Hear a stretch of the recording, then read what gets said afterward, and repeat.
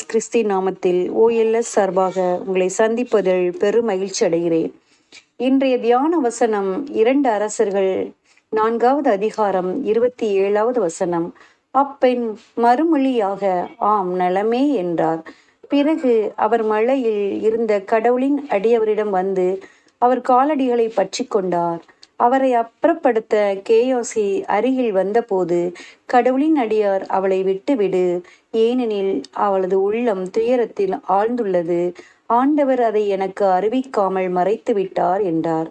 ஆம் என் அன்பு சகோதர சகோதரிகளே இன்றைய தியான திட்ட பகுதியில் இரண்டு அரசர்கள் நான்காம் அதிகாரம் இருபத்தி ஒன்றிலிருந்து இருபத்தி ஏழாம் வசனம் வரை தியானிக்கின்றோம்.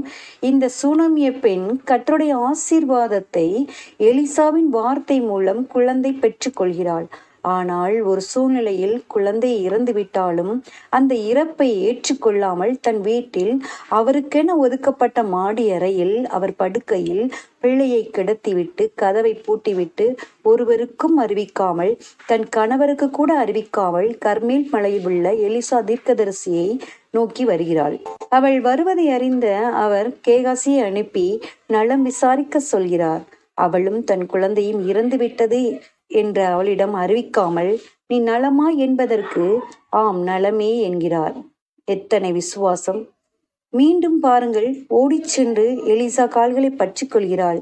அதன் பின் மீண்டும் தன் குழந்தையை உயிரோடு பெற்றுக்கொள்கிறாள் என்பதை நாம் விவிலியத்தின் பின்வரும் பகுதியில் காண்கின்றோம். ஆம் எனக்கு பிரியமானவர்களே நாமும் கடவுளிடமிருந்து சுகத்தையும் ஆசீர்வாதத்தையும் பெற்றுக்கொள்கிறோம் ஆனால் சில பலவீனங்கள் நம்மை தாக்கும் போது நாம் என்ன செய்கிறோம்? நம் வீட்டாரிடமும் பக்கத்தில் இருப்பவர்களிடமும் புலம்புகிறோம். நாம் யாரிடம் முதலில் அறிக்கை செய்ய வேண்டும்? ஆண்டவராய் இயேசு கிறிஸ்துவிடம் அறிக்கை செய்யுங்கள். சுனாமிய பெண்ணை போல் விசுவாசத்தோடு மனம் தளராமல் விசுவாசத்தை அறிக்கை செய்து நாம் பெற்றுக்கொண்ட சுகத்தையும் ஆசீர்வாதத்தையும் மீட்பையும் நாம் பற்றிக்கொண்டு இந்த இறுதி நாட்களில் இயேசுவின் வருகைக்காக ஆயத்தப்படுவோம்.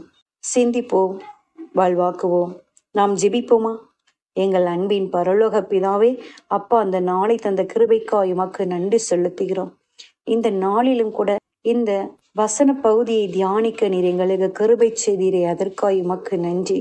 ஆமாண்டவரே சூனோமிய பெண்ணை போல் விசுவாசத்தோடு எல்லோரும் நலம் என்று அறிக்கை செய்தது போல் நாங்களும் நாங்கள் பெற்றுக்கொண்ட நல்லத்தை விசுவாசத்தோடு எல்லோரிடமும் பகிர்ந்து கொள்ள நீர் எங்களுக்கு கிருபை செய்யும்.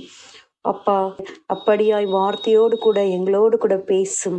வார்த்தை என்னும் அண்ணாவை நாங்கள் விசுவசிக்க அந்த விசுவாசத்தை பிறருக்கு அறிக்கை செய்ய நீர் எங்களுக்கு மனமிறங்கி கிருபை செய்யும். நீர் அப்படியாய் செய்துவிட்ட கிருபைக்காய் நன்றி செலுத்துகிறோம். ஆம் ஆண்டவரே எங்கள் ஜெபத்தை கேட்கிற தகப்பன் எங்களோடு கூட இருக்கிறேன் இந்த தவ நாட்களிலும் உம்முடைய வருகைக்காய் நாங்கள் ஆயத்தப்பட.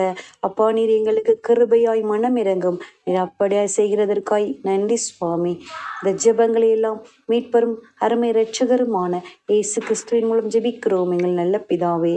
ஆமென். இந்த நாள் விசுவாசத்தோடு வாழ உங்களை வாழ்த்துகிறேன். Praise the Lord